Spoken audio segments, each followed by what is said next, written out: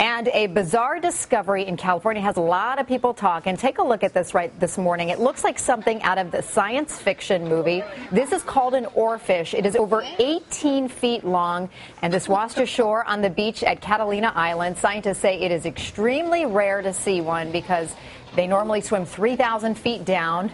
You'd want to keep it 3,000 feet down looking like that. It's also 3,000 feet long. Floor. 18 feet long to be good. It looks Apparently, like a snake. it was a Disgusting. snorkeler who first saw it. That Yeah. person's still in therapy. Oh my God. Can you I would imagine? be freaking out. That's huge.